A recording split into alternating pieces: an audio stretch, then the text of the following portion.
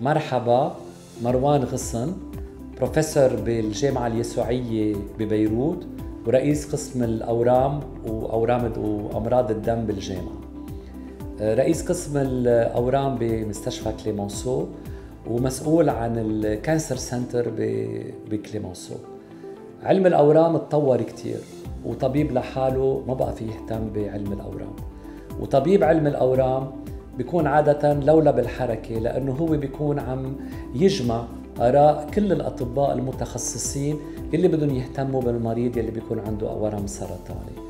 نجاح العلاج والتشخيص المضبوط والوصول على شفاء المريض بتتطلب تظافر كل الأطباء مع بعضهم لمصلحة المريض.